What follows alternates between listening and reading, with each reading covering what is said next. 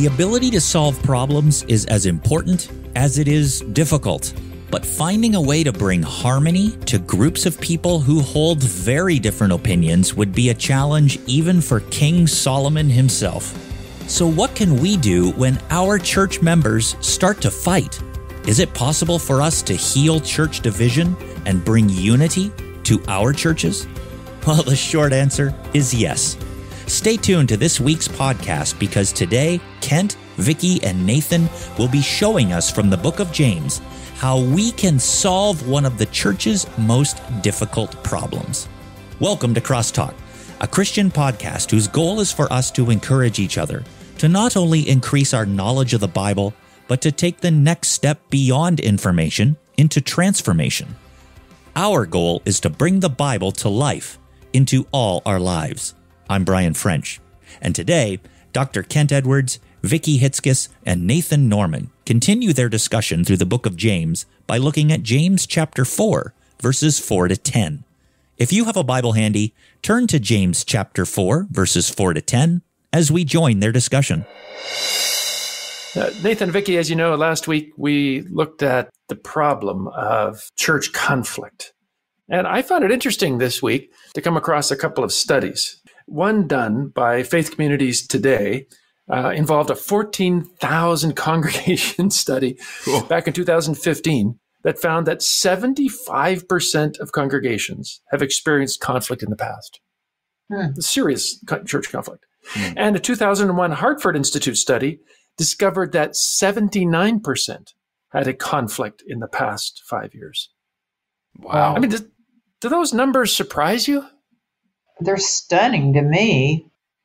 They're stunning, but I'm very cynical about this kind of thing. and uh, no, that kind of jives with my personal observations from my colleagues and, and my own church experience. Yeah. It's sad, especially as we noted last week in a COVID 19 world when the pressure is really on. There tends to be an increase in church conflict. How do we run church? What do we do? What if finances are, are in tight supply? all those situations come together to create uh, a breeding ground for conflict. And conflict debilitates organizations. Uh, you know, I enjoy reading uh, business books, and I came across in one article a recent study that was conducted across a wide variety of businesses that found 65% of work performance problems and as much as 42% of employee time is spent resolving conflict. Oh, wow. That's amazing. Isn't that awful? That's amazing. So think of the bottom line effect on a company's profit, right? I mean, rather than getting out there and making the widgets or whatever they make and selling the widgets or whatever that involves in, um, instead they're all consumed with internal problems. They're spending time and resources fighting fires, not getting the job done. And and that's what happens in the church too, isn't it? Yeah. I mean, when we get involved in internal issues, then we're obviously not looking outside at a world that desperately needs to hear about Christ. That job is simply not getting done. And you're exhausted, right? So once once once it's over, you're too exhausted to do anything anyway. Yeah. But it happens. It happens today. It happened in the first century. That's why James says in James 4, verse 1, What causes fights and quarrels among you? The only reason he's talking about fights and quarrels is because there were fights and quarrels that were breaking out among the people of God in the first century. And the weapon of choice was mentioned in verse 11. Brothers and sisters, do not slander one another. They used their tongues to attack, to, uh, to fall, to throw false accusations against one another. And people would get mad and fight back, and on and on it would go. And but so today I want to look at not the problem, but the solution. I mean, how do we solve the problem? So we know that there's has been and is uh, church conflict going on. But how do we resolve this so we can get on the work of Christ? Well, James begins to answer this question in typically blunt talk by outlining what we ought not to do. He says in verse uh, 4 You adulterous people, Don't you know with friendship with the world means enmity against God? Therefore, anyone who chooses to be a friend of the world becomes an enemy of God. Or do you think Scripture says without reason that he jealously longs for the Spirit he has caused to dwell in us? But he gives us more grace. This is why Scripture says God opposes the proud, but shows favor to the humble. Notice in verse 4 do you not know that friendship with the world means enmity against God? I don't know if you guys remember much of your high school history classes. Anybody? Anybody? Do you remember? Was that a favorite subject? I passed it. it. It depends which part of history. I don't care. Eddie, what did you take? Ancient history, American history, European history? European, I don't know anything about. I recall a really cute current affairs uh, history teacher. I see. Okay, okay well, um, thank you for being so revealing. Um, and one of the things I remember about history, one of the things that fascinated me about it, was that they tended to always talk about the wars. Mm. So the, the history of humanity they defined as first this war and then this war and then this war and then this. What an interesting point. And so these wars were pivot points. Yeah. So it, it, I mean, look around today. Look at the conflict. I mean, we're not in a world war at the moment, but there are scads of wars, perhaps more wars today than any other time in history. So the human inclination is when there is a problem, we address it with brute strength, right? We attack. Yes. We get our way. We impose our will. That is the human solution. And James is saying, you adulterous people, you, because he's already talking about the conflict and quarrels, the fighting that's going on between them. When you decide to adopt a warlike strategy in order to advance supposedly God's kingdom in your in your interchurch fight, that friendship that's friendship with the world. That's utilizing the world's strategies. And that means that you are against God. That is not God's strategy. So, what is he saying here? James begins to answer the problem of how do we deal with church fights by saying quite plainly Stop fighting. This is not the strategy you are to use. When you fight your brothers and sisters in Christ, you are falling into Satan's trap. And as you use his strategy, you will discover two things. First, you'll discover fighting won't help your church. I mean, can we just turn on the news and see what's happening, at least in America? Everyone in Washington today and online, it seems, is insulting each other. Hmm. Throwing verbal grenades back and forth at each other, accusing people of terrible things that, and it's totally un, unproductive. And we get nowhere by using the world's tactics. It doesn't work in Washington. It doesn't work in the world. It doesn't work in the church. Stop fighting because fighting won't help your church. It will hurt your church. You just won't help it. Secondly, he says we're to stop fighting because fighting won't help you. Look down at verse 11 and following. Brothers and sisters, James says, do not slander one another. Again, that's the weapons of choice used in church and, frankly, politics and in the world and certainly online these days. Do not slander because anyone who speaks against a brother or sister or judges them speaks against the law and judges it. And when you judge the law, you are not keeping it, but sitting in judgment on it. There's only one lawgiver and judge, the one who is able to save and destroy. But you, who are you to judge your neighbor? When you join in a church fight by throwing verbal grenades, you are, as he says in verse 11, speaking against a brother. Those who slander as they speak against a brother see themselves as spiritually superior. Notice when it says in verse 12, there's only one lawgiver and judge, but you, who are you to judge your neighbor.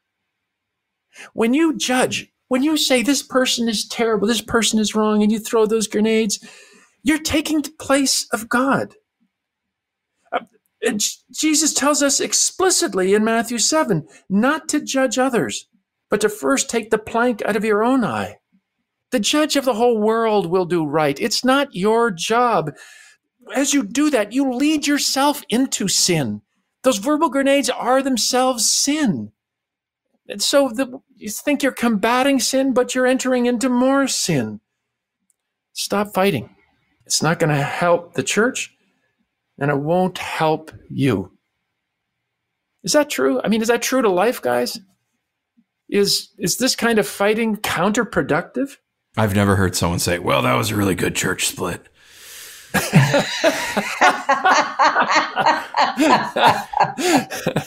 Let's go break up another one. no, it hurts. Yeah, it can be long term hurt. Mm-hmm. Um, there are um, uh, church situations that I've heard of where the splits have been so divisive and um, ugly that it has hurt the church's reputation for a generation or more. It takes a long time to live that down. Yeah. So James is just being quite honest. Stop fighting because it, it won't help your church and it won't help you. It hurts both. I mean, it's just clear. That's what the world does, and that's what we're not to do. And if we do it, we enter into more sin. But he's not just negative, James is also positive. And he tells us what we should do. What should we do when a church is fighting? I think we should start repenting. Look at what he says in verses 7 through 10. Submit yourselves then to God. Resist the devil, and he will flee from you. Come near to God, and he will come near to you. Wash your hands, you sinners, and purify your hearts, you double minded. Grieve, mourn, and wail. Change your laughter to mourning and your joy to gloom. Humble yourselves before the Lord, and he will lift you up. Satan's heart is a black hole of selfish pride that led him to rebel against God. When we fight and quarrel among brothers and sisters of Christ, we are Satan's foot soldiers. We are actually, maybe unintentionally, advancing Satan's agenda and working against God's work in the world. And that's why he says, Submit yourselves then to God. Come near to him, and he will lift you up. Did you notice in verse 6? The good news is that while God opposes the proud, he gives grace to the humble. Pride is an insidious sin and a very dangerous one. C.S. Lewis tells us as long as you are proud, you cannot know God. A proud man is always looking down on things and people. And of course, as long as you are looking down, you cannot see something that is above you. Hmm. When you're looking down at others, you are not looking up at your Lord. Okay, so I'm sure that a number of our listeners see themselves and their church in this passage. We can look back in sorrow at the behavior we have had, our church has had. We want to stop it. We want to be part of the cure, not the problem. We understand that James is saying that we are to repent, to grieve, mourn, and wail, to humble ourselves before the Lord so that He will lift us up. How do we apply that cure of repentance? How do we help this simple message, a simple but difficult message, take root in our in our churches, in our Christian communities? My example would be sometimes is you have two people arguing about evangelism. We both agree that evangelism should be done. One person believes crusade evangelism is the best way to get things done, right? Because work for Billy Graham changed the world. So we need to be doing crusade evangelism. The Next person says, Are you kidding me? It's four spiritual laws because I was saved by four spiritual laws. And I think we need to go out and give people a simple tool and tell, teach them how they can reach their, the community for Christ. You're the guy that put the drums on the stage. I know. So, and then there's the people who didn't, right? So, so they're fighting and they're like, they both think they're right and they both think the other person is strategically wrong. So, even though you're convinced that they are wrong and you are right, to be involved in fights and quarrels is a sin. Go, weep, repent, and go to the person, repent to the Lord. I think I would start there. Um, and I would go to the person that you have acted inappropriately to and repent to them too, as hard as that is. Because that action, not necessarily the conviction, but the action was wrong. Okay, so as hard as it is, um, even when we're convinced we're in the right, we need to repent before the Lord. We need to grieve, mourn, and wail, change our laughter to mourning, and humble ourselves to the Lord for Him to lift us up. But when we've done that, I think we need to help others who may need to repent. Nathan, you've been involved in that. It's not just a personal repentance, but sometimes we need to come to the help of others who may have a blind spot or a hesitancy. How do we help others to genuinely repent? Yeah, you know, we see in Matthew 18 how we confront people who are in sin, as fellow believers in sin, and you go to them personally, uh, and and kind of in my 21st century dialect, I'll just say, "Hey, I've seen this issue. What's going on?" and then have a conversation about it if they're not willing to admit any wrongdoing, you bring a witness, uh, you bring multiple witnesses, you bring them uh, elders before them, you bring them to the church, and then eventually you throw them out of the church. Right? Uh, what we see there is Jesus is uh, telling us you you basically start off soft and then you increase the pressure as the belligerence against the sin goes on. But what we have to be really careful with, at least what I've found, is sometimes we just have like differences of opinions or personal conflict. Mm. And I want to make sure that what the other person is doing when I'm confronting them is actually sinful. And it's not just that I disagree with them or their personality rubs me the wrong way or I don't mm-hmm. like the way they dress. Uh, it has to be an actual sin. So what I usually do before I confront anyone that I'm having a problem with, I'll go to Galatians, as we talked about last week, Galatians 5:19, and there is a pretty comprehensive, although there's a few other sins that are not listed here, but a list of sins that I will go and I'll say, okay, is this individual doing these things? Idolatry? Well, yeah, their political uh, worship uh, rises to that level, sure. Creating strife, yes. Outbursts of anger, okay, that that's one. And I'll actually take this list and I will go and say, hey, uh, here's what I'm seeing and um, and here's what uh, what Paul says: it's a work of the flesh. Uh, what's going on, and and how can we work this out? Uh, and and oftentimes, if I can come and I can define from Scripture the sin, a person will often uh, will often admit that what's going on is is going on, and as long as you confront the sin in love, uh, they repent. And what I've typically found is I've never had to exercise church discipline to the point where we bring them in front of the whole church and kick them out. If they're so belligerent and they're so filled with pride, uh, by the time you bring a witness or two, or maybe sit down with the elders, they've already left the church.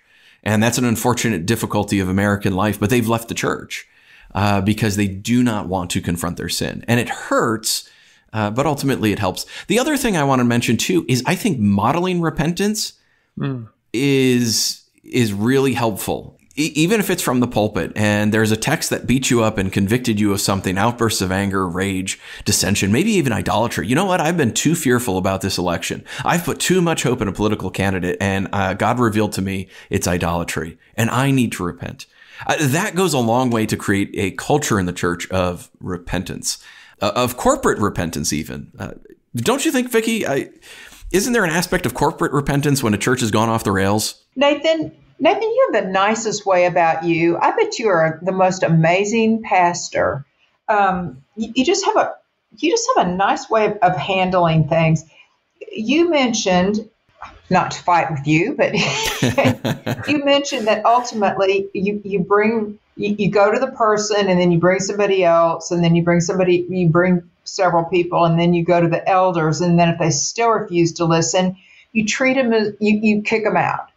However, I, I had to talk with my dad about this, and he said what the text actually says is you treat him as you would a pagan or a tax collector. And he said, So, how would you treat a pagan or a tax collector? How would you treat a non Christian? I'm glad that you brought that up. Yeah. Go ahead. Well, you, you treat them with love, you try to Right. win them over. right. You evangelize them. You evangelize them. You you don't think, oh, this is a believer. You look at the fruit and you think, I need to love this person. Yeah. Right. But I think, yeah, I think, Nathan, I think your point was that yeah, you can't recognize them as being part of the church. Yeah, they can't they can't represent if their bad behavior continues, they can't represent who the church is about. And um, but I'm glad Vicki said what she said because it's not just a callous "Ah, meant for that forget to you. Be, I meant for that to be recorded because you said that twice. Right. Yeah, no, and I'm glad that you said that because it's not a callous forget you and I'm glad that you brought that up and clarified that because it is exactly like your father said. It is you you're treating them like you take them off the the church membership roster. They're not publicly representing the church anymore, but uh, you are you still love them, you care for them, you evangelize them, and you treat them as if they are not a believer because they are living and uh, in in sin, and you you tell them repent and believe in the gospel of Jesus Christ. Well, I already do. Well, you're not living it. Uh, James says there's no fruit of that. You need to follow Jesus Christ. You need to repent and believe in the good news. And they're not. And if if they continue in their belligerence, they they won't repent. But hopefully, at some point, they'll they'll break down and say, "Yeah, I will repent." So that, Vicki, thank you for saying that. That is a wonderful clarification, and uh, I'm glad you didn't let me oversimplify that. And just to uh, continue for a moment, yeah, it's interesting that uh, the teaching that you are quoting from Matthew 18 come, was written by Matthew, who was a Tax tax, collector. Tax collector. collector. Yeah. So, yeah. how was he treated? With love, with grace, and an invitation to follow Christ, right? Amen. Yep. Hmm. Amen. So, I think we should treat him the same way. I've often thought, boy, isn't it interesting that a tax collector wrote that? it is interesting. So, how, what's the cure? James says there's got to be repentance. And I think that there's three ways that we need to apply that. We need to personally repent for things that we have done. Now, there's times obviously you can be innocent in a situation, but still, if your response is incorrect, you need to respond even for, you need to repent even for that. Secondly, there's helping others to repent, as Nathan just mentioned in Matthew 18. But there's also, I think, a place for corporate repentance. I am struck by the prophet Joel when um, we read in chapter 1 and chapter 2 Put on sackcloth, you priests, and you mourn. Wail, you who minister before the altar.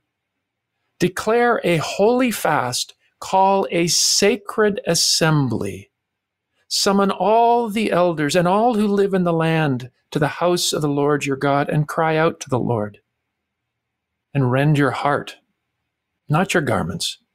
Return to the Lord your God, for he is gracious and compassionate, slow to anger, abounding in love, and he relents from sending calamity.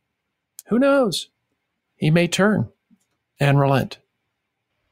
So, here in this passage, while there is certainly individual sin that people needed to deal with, and certainly while it's appropriate in this context to help others in the nation who were sinning to recognize their sin and help them repent, there's a sense in which everyone, as part of the family, owns the sin and comes to God and says, Forgive us for our trespasses. Hmm.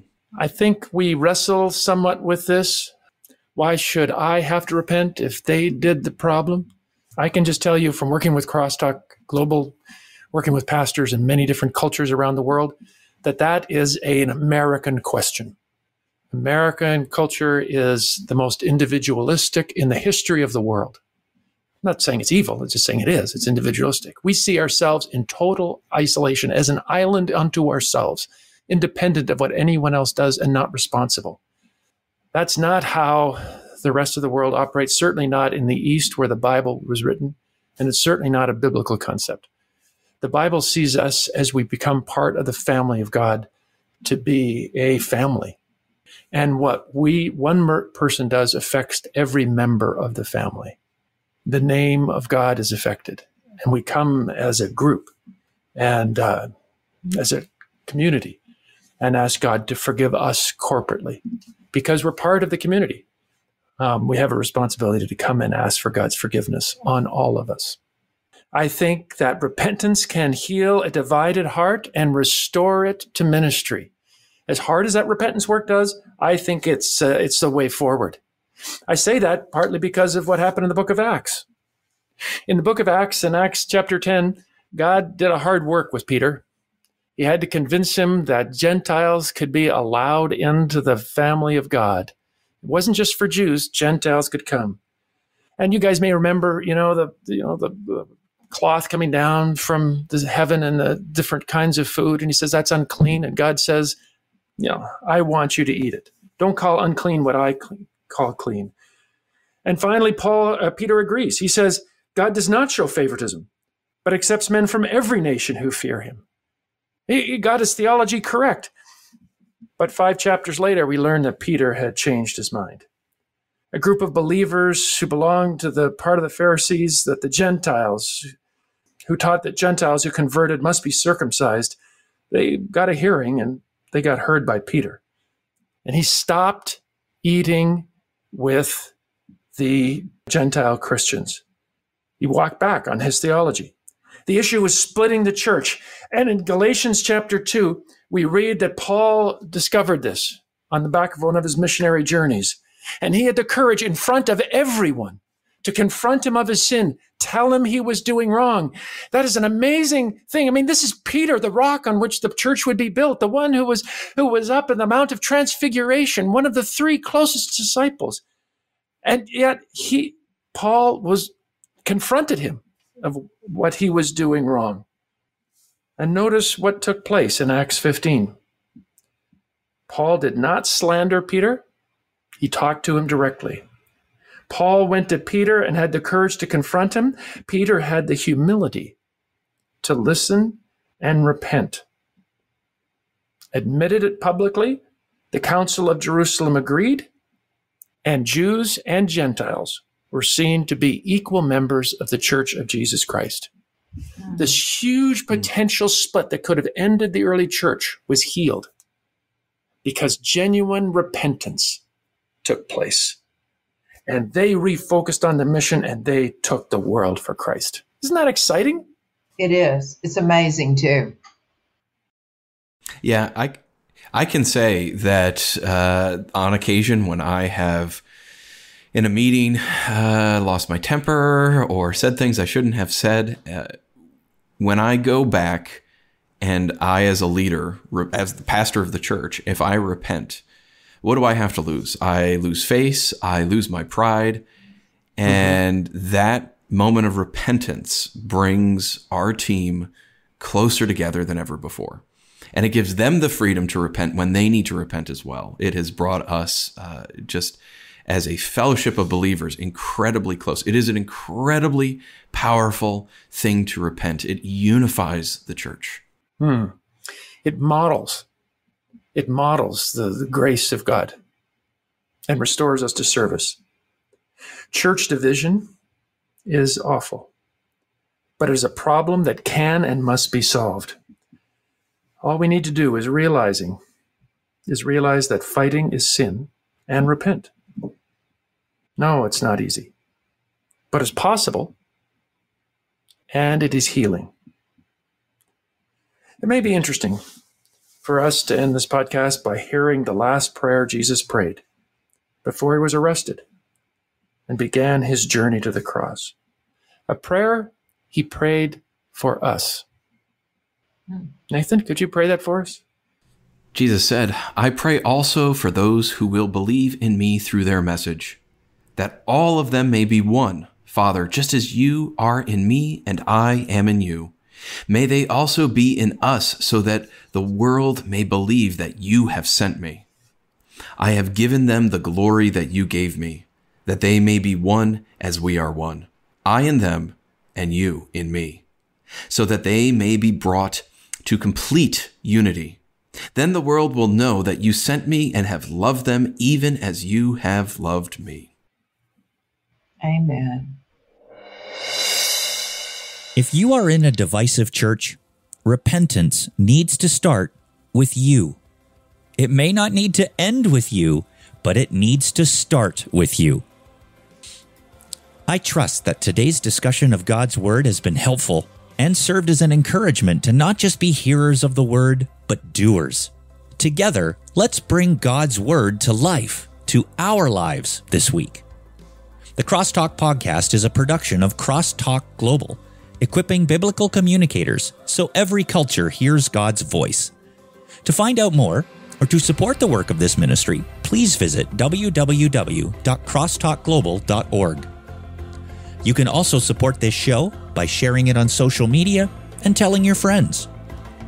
Be sure to listen next Friday as we continue our discussion of the book of James and discover how we should plan for the future, especially in business. You won't want to miss it.